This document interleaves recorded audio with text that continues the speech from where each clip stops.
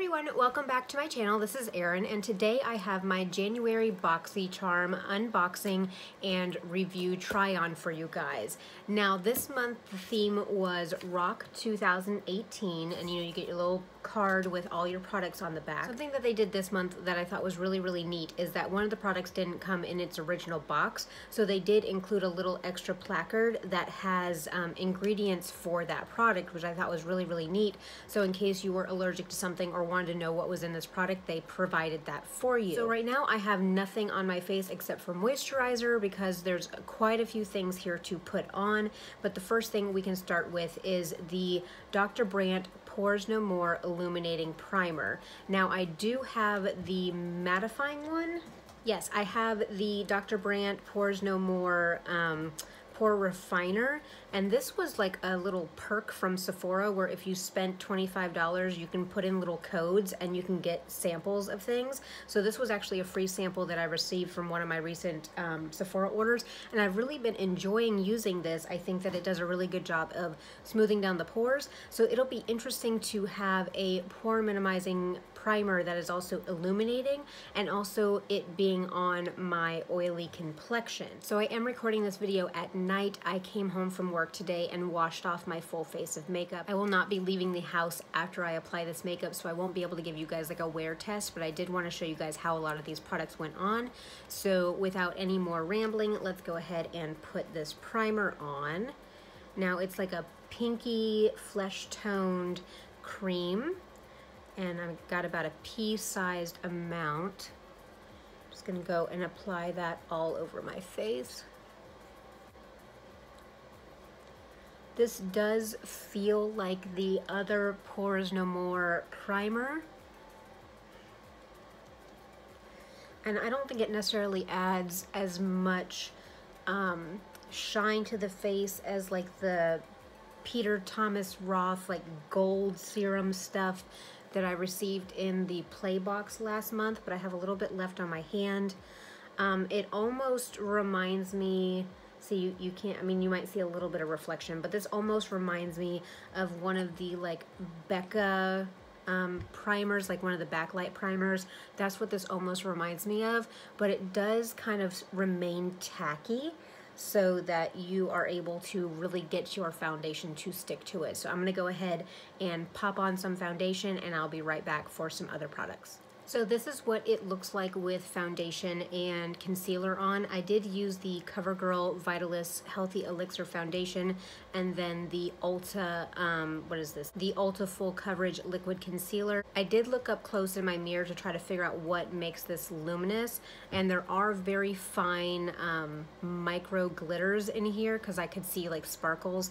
Um, they look to be like gold toned sparkles in there but it is something where it's not necessarily like a crushed up highlighter type of luminous. It is like a sparkle luminous, but I wanted to go ahead and just put one of my lighter weight foundations on. So, I mean, I'm still looking shiny because this is just a very hydrating foundation, but I'm gonna go ahead and lay everything down with powder and see how it looks. So I set down my face using my Laura Mercier translucent powder, and if I look up close in my mirror, I almost feel like I have like some of the sparkles coming through through, like the glitters separated from the primer and are kind of like sitting on top of my face. um, I do feel like my pores have been minimized, just like the other Pores No More primer from Dr. Brandt, so I think that they have that down, but as far as the luminous part of this with those micro glitters, I feel like you know like when glitter stands up on end instead of laying flat against something and you can kind of see it jutting out? I feel like the glitters are almost kind of like jutting out from my skin but I'm gonna go ahead and put on some other products and see how this looks at the end as well. I think next I'm gonna go on to eyes and we ended up getting the Glam Metals um, eyeshadow palette from Crown and this is the same company that makes Crown brushes um, these are the shades that come in here. I'm kind of very excited about this because since I'm not wearing this look outside the house, I think I want to try to do something a little bit out of my comfort zone. But I mean, it has this little mirror that's in the shape of a guitar. do is that really useful for much? Maybe, maybe not, but I am excited about going into these. Now, all of these are um, metallic shades. So you will need to bring in shades for like um, transition shades and crease shades and things like that, but they do kick up a little bit of powder, but I'm really interested in these blues. That's why I ended up swatching those. So the top one is Punk, and then Heavy Metals, this is Glam Rock, and then this is The Wicked. So I'm gonna go ahead and dip into another one of my palettes to kind of set down some crease shades, and then I'll pick out um, a color or two from here to go ahead and pop on the lids. So I think I'm just gonna go into my Tarte Clay Play palette to get some um, crease shades and just lay down a transition shade. So I'm going into the middle bronzer shade that is called Desert and we're just gonna go ahead and define our crease a little bit.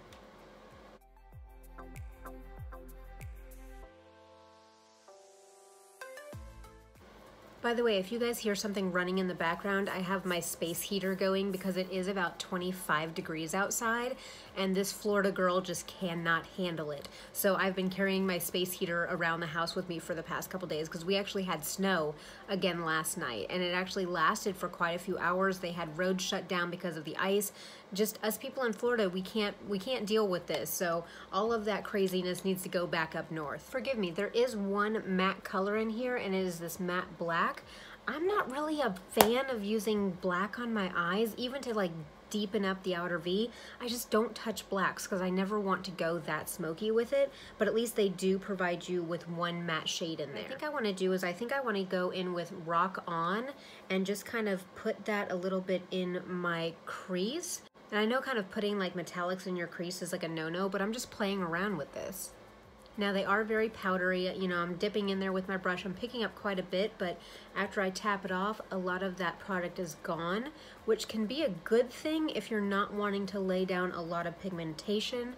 So I think that like, if you're kind of just starting and you're, you're trying to get your foothold with some um, eye products, this could be really, really good because you really have to build up the color and you can't really make that mistake of going into heavy-handed all at once. So now that I've put rock on in my crease, I do want to go ahead and pat heavy metals all over my lid.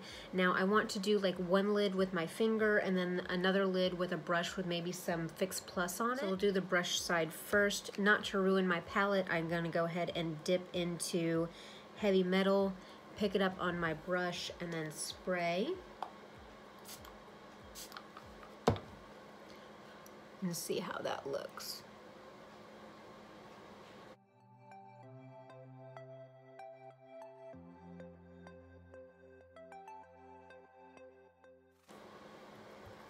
Then I just want to go back in with that same brush that I used to put um, rock on and I'm just going to kind of blend out the edges.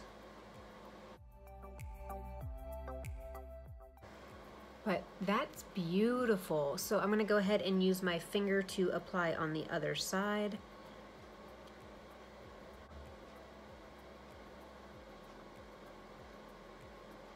I'm always kind of nervous using my fingers because I don't feel like I have a whole lot of real estate on my lids and using my fingers I always feel like I'm going to put too much product on or not have the same amount of control that I do with a brush. But it goes on a whole lot more pigmented using your finger, but just to blend everything out, I'm gonna go back in with the same brush and just get into some of the little tighter places that I don't feel like I can get with my finger.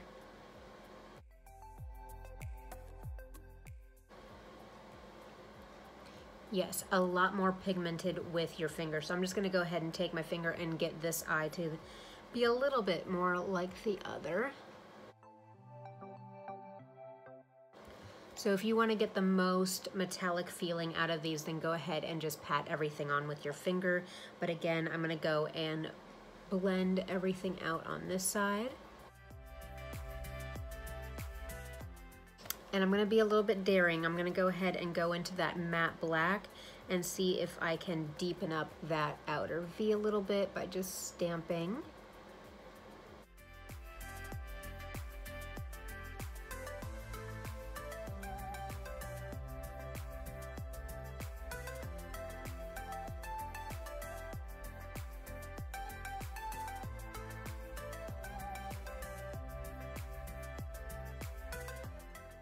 So I just took the shade Punk and just put it up a little bit higher above that crease because I wanted to have that blue a little bit more blown out because um, again I'm not leaving the house with this look. But this is totally something that I would have rocked whenever I used to go to like indie concerts back whenever I lived down in Tampa. We had a lot of like indie bands that came out of that area and so we I would go to shows a lot of times because I actually dated a drummer in like a hardcore metal band. So I would always go to shows. And who else had the phase of just like blue eyeshadow I feel like everybody like during their like teens had that like that deep blue eyeshadow and you guys would just go to town with it. So I totally had my blue eyeshadow phases and so this kind of really brings me back to that. I do think that this is appropriately kind of named because I do feel like rock vibes from this um, from this palette so I'm really really actually enjoying this now just to see how this like this almost looks like it could be a brow bone highlight, which this one is called Pop Rock. And it's a little bit more of a taupey green type shimmer, but I'm just gonna take another fluffy brush and see how that looks up on the brow bone.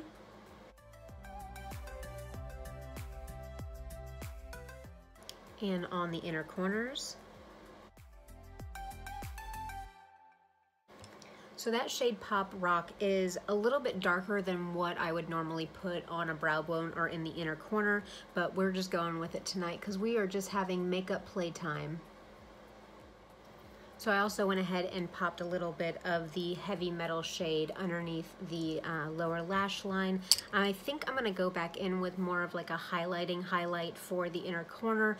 If that's one thing that this palette is missing is a good brow bone and inner corner highlight because like I said, this Pop Rock shade is a little bit too deep for that.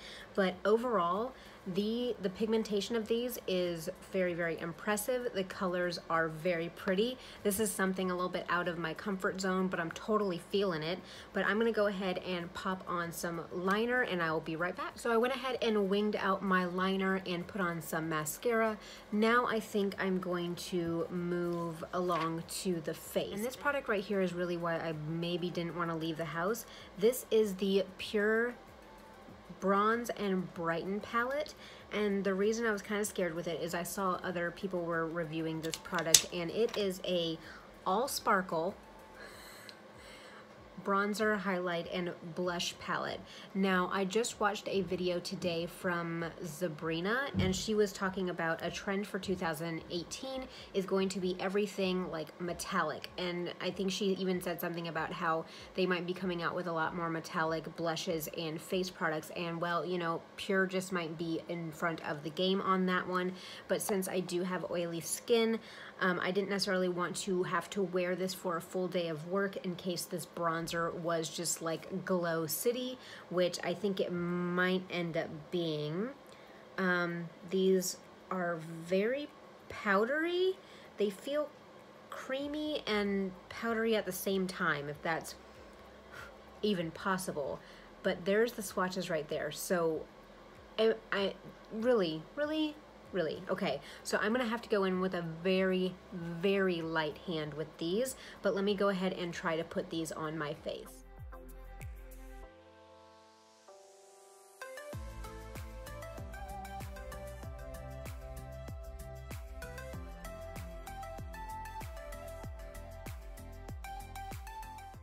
So as far as the bronzer goes, it's a little bit of Patch City up in here. So I even changed brushes to my Eco Tools blush brush, which I use all the time to bronze and contour. And this stuff is just so hard to blend out. Like, look at the patchiness in, in through here. And the color is just entirely too deep for me, I believe, um, to the point, and as far as blending, it's to the point where like, I almost feel like I'm rubbing off everything underneath this bronzer, just trying to blend it out. So I don't think I'll be using this as a bronzer per se, because number one, I think it's too deep for me, and then also it's hard to blend out. And um, let's face it, uh, it's it's a glittery bronzer on an oily skin type, but um, this will probably look really gorgeous on the eyes. So this was probably something that I'll end up using on my eyes more than on my face. But let's go ahead and we'll put on the blush as well.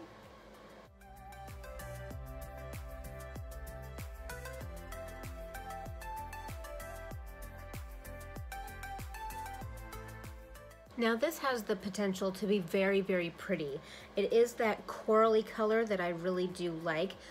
Again, it's very chalky and it's very, very pigmented.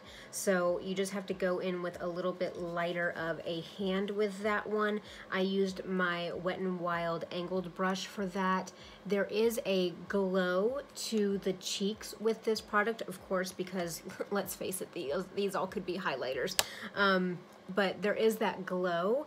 Um, again, out in natural light, since it is nighttime, I think out in natural light, I would just look like a bronzed statue.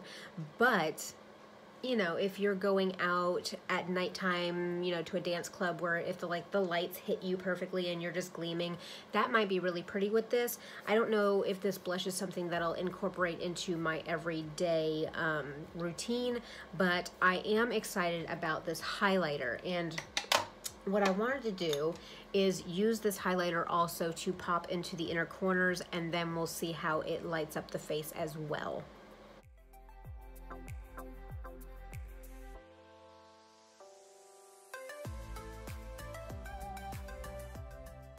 All right, so we got a little bit of brightness um, in the eyes. I will say, as I was patting the product over here in the corner here, my eye did water a little bit and sting, so I don't know if these are necessarily safe for eyes.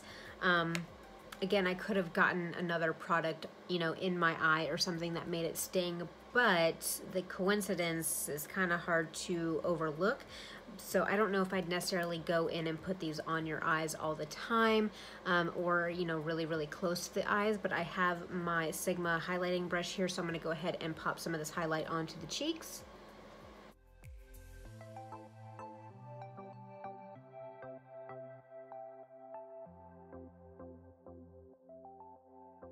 All right, guys, you might be able to be seen from space with this highlighter. It is very, very bright. I mean, especially my Cupid's bow, you can really just see how much it is shining. Um, I kind of like the highlighter and I wish that they would have just sent us a pan of the highlighter. I think that this bronzer is ridiculously um, pigmented and it maybe only is going to suit a certain skin tone.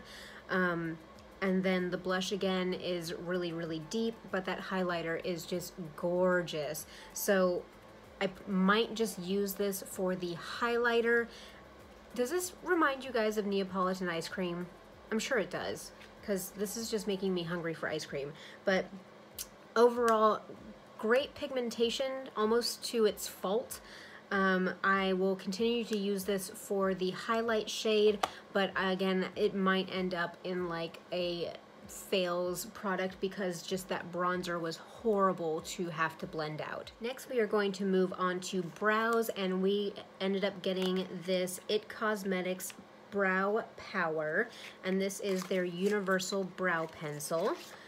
So it ends up coming with the pencil on one end and it's like an elongated oval which I really like this over just like the straight like fine tips and then you get a nice spoolie on the other end. I like these smaller spoolies. I feel like it's easier to control everything with these smaller spoolies, but the, with the universal um, colors, it's kind of like if you press harder, you get a darker color. If you press softer, you get a softer color. Um, so let's see if I can get some colors to show up here. So that's pressing very, very lightly and that's pressing harder. So I can understand how this might go from a blonde or a taupe to a soft brown. I think that if you have um, hair coloring that is deeper than like soft brown, this may not work for you. Of course, like if you have really dark or black colored hair, this may not be able to match for you, but we're gonna go ahead and see how this works in the brows.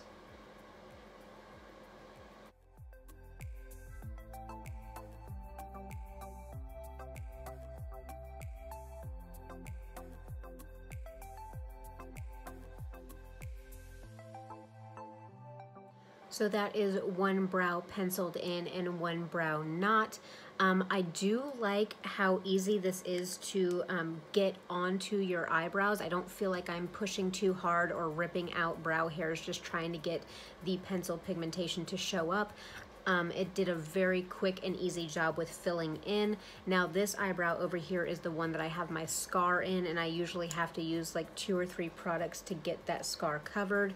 But we're gonna go ahead and see how this performs in my difficult eyebrow. All right, that is the second brow done. I'm really impressed with how this actually um, sticks the pigment to your skin because I do have that scar in there and usually I have to go back in with powder and really set that scar down um, because a lot of other brow pencils don't like sticking to my skin to fill in that area. Um, this is beautiful absolutely beautiful. Again, I have been absolutely 100% um, in love with a product from IT Cosmetics. So this will definitely be going into my everyday makeup routine. I'm just gonna go ahead and set these down with some brow gel and I think then we get to move on to lips.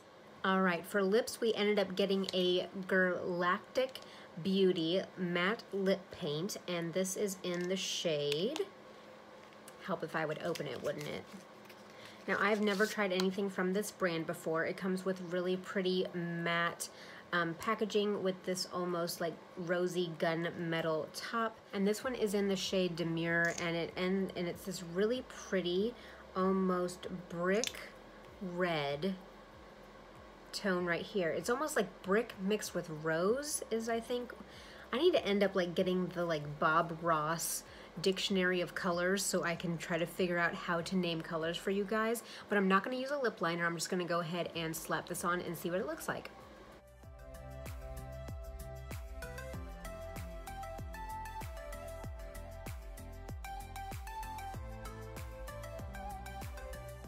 All right, guys, so this is our lip color. I absolutely love this. Um, there's been some other deeper shades that BoxyCharm has sent out that I haven't been the biggest fans of, but this is so comfortable. It dries down. It feels almost weightless. I do feel a little bit of that like chalky dryness on my lips, but it's not anything that's extremely uncomfortable. The main thing for me would be if it gets that weird ring on the inside of, of the lips um, as the day goes on, but let me see barely any transfer. It's probably still drying down a little bit, but this is kind of a win in my book. I really, really like this color, but overall this is kind of the look that I came up with for the BoxyCharm. I probably would not wear this lip with um, the bright blue eyes, but you know, we're working with what we're working with.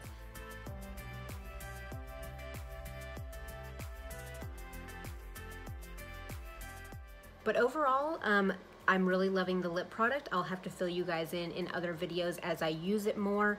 Um, the IT Cosmetics Brow Power Brow Pencil is amazing. It made doing my brows so, so easy, and so I'm excited about incorporating that into more makeup looks.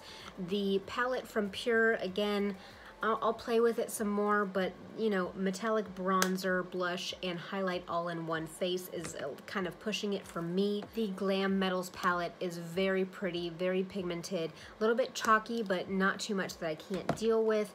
And then the illuminating primer here, I'll have to use it some more and see what I think. I really don't like the fact that it had those micro glitters in it and I almost felt like those glitters were standing up on my face, um, drawing more attention to maybe the fact that there is glitter on my face.